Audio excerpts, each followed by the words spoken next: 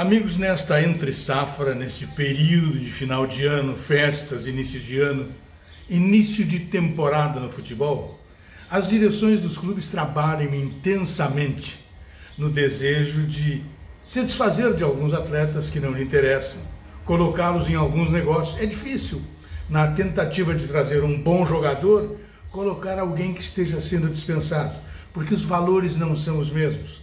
É necessário trocar os mesmos ou aqueles que mais se equivalem e por uma questão ou outra acabam não se adaptando, se acertando nesse ou naquele clube. Isto é provável e nós temos bons exemplos dessas situações.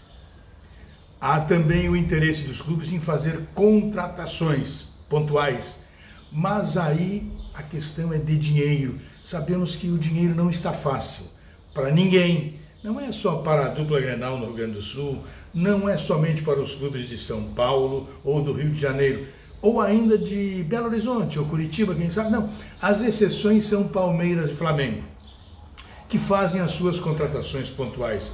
Os demais, se não fazem uma grande contratação, tentam resolver os seus problemas da melhor maneira possível.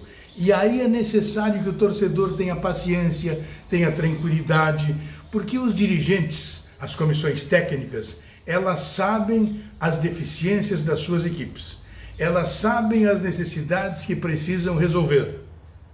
Mas as negociações é que demoram um pouquinho mais. Nós estamos vendo aí a dupla Grenal, o Fluminense, o Vasco, o São Paulo, demorando bastante para fazer uma ou outra contratação, embora tenham mirado acertadamente em quem possa resolver os seus problemas.